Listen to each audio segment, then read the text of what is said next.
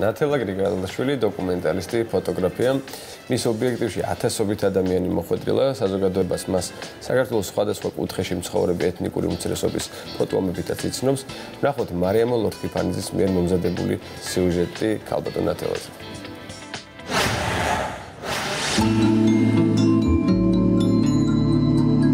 ეს გოგონა საერთოდ ცხოვრებლიდან არის, თუმცა მისი ისტორიის მოგონება აღარ მინდა.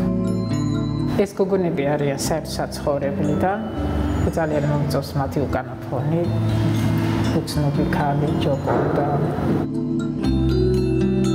ეს გოგონაც არის საერთოდ ცხოვრებლიდან, სოფლიდან ჩამოსული, რომელიც მუშაობდა ერთ ფაბრიკაში. ეს ანა ანა მეტროში გავიცანი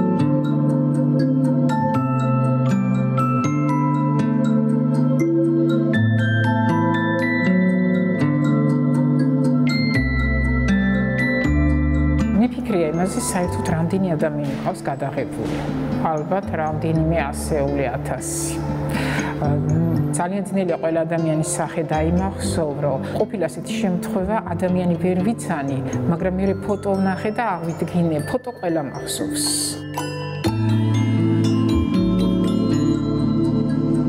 მაშინ ვიყავით დაახლოებით 22 წლის, როდესაც პირველად ავიღე ფოტოაპარატი ხელში. ეს უფრო საწყისი იყო, რატომ ვიღებდი საერთოდ ახლაც ვერ ხვდები. ტექნიკურად ვცდილობდი გამიგო როგორ ხდებოდა გადაღება. ძალიან მიხარია, როდესაც ადამიანები ამბობენ, რომ აა მასში რაღაცა თავისი იპოვა. აი ამ ფოტოში. მასზე მოქმაცი მოქმედებს ფოტო რაღაცა ბავშვობაში აბრუნებს ან რაღაცა ემოციები უჩნდებათ. ჩემთვის ეს არის ყველა ალბათ ეს უფრო მაჯერებს ხოლმე თავს. დანარჩენი ფოტოგრაფია ჩემთვის არის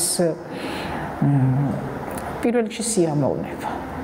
სიხარული, რაღაცი ცხოვრების თითქოს გალამაზებაც და მოგზაურობაც, მოგზაურობა ადამიანებთან ვის გვერდით და მათთან ყოფნა საშუალება.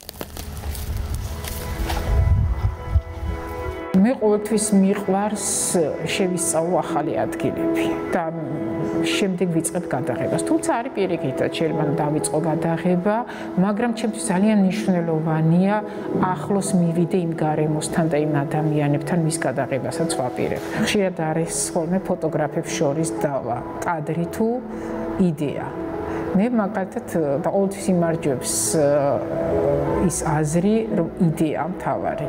ამიტომ ფიქრობ, რომ ფოტოგრაფს უნდა კონდეს კარგად გააზრებული, გაიაზროს, რა უნდა, რისი გადაღება უნდა, კარგად შეისწავლოს ის თემა, რის გადაღებასაც აპირებს.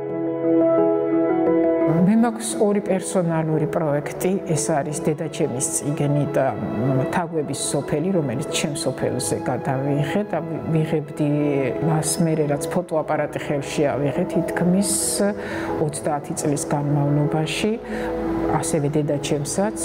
ეს არის ჩემთვის ძალიან მნიშვნელოვანი პროექტები იმიტომ რომ ჩემი მთელი ბავშვობის მოგონებები, მთელი ემოციები, რაც იმ ადამიანებთან, ჩემ ახლობლებთან, განსაკუთრებით დედასთან მქონდა და მიმაჩნია რომ ეს არის ჩემთვის ყველაზე მნიშვნელოვანი პროექტები.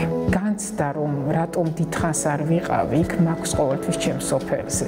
მე 16 წლის ვიყავ, როდესაც სოფლიდან წამოვედი და ძალიან დიდი დროს შემდეგ ქალაქში ვატარებდი და დღევანდელი გადასახედიდანაც და მაშინაც ყოველთვის მქონდა ფიქრი რატომ არ ვარ ახლა სოფელში. ალბათ იქ ბევრად უფრო კარგი რამე ხდება.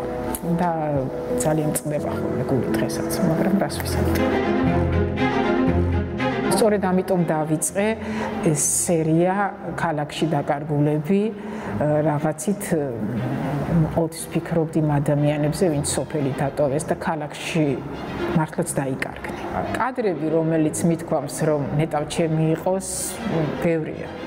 ბევრი შემხედრია და ბევრი შემხედრია ისეთი კადრები და ისეთი კარგი ფოტოგრაფი, როცა მინდა იმ წუთში კამერა ხელში და გადაღებას, გადასაღებად წავიდე. სად ვხედავ ჩემ თავს 10 წლის მერე ვერ გეტყვით, მაგრამ მე იმედი მაქვს, რომ ეს 10 წელი ჩემთვის იქნება ناყოფიერი და ავისრულებ ჩემს ოცნებას, რომელიც ჩანაფიქრს უფრო სწორად, რომელიც მაშინ გამიჩნდა, როცა გავაცნობიერე რა მინდოდა ფოტოგრაფიაში, გადავიღო საქართველოს. მისი ყველა კუთხე და ვიმოგზაურო ერთი სოფლიდან მეორე სოფელში. მე ძალიან მიყვარს ძველი ფოტოების თვალიერებაც და ყოველთვის ვფიქრობ ხოლმე, რომ ეს არის წამი, რომელიც შემოინახი. ყოველი კადრის გადაღების დროს ალბათ ხანდახან ფიქრობ ხოლმე ყოველთვის არა, რომ ეს არის წამი, რომელმაც შეუძლია დროს გაუძლოს.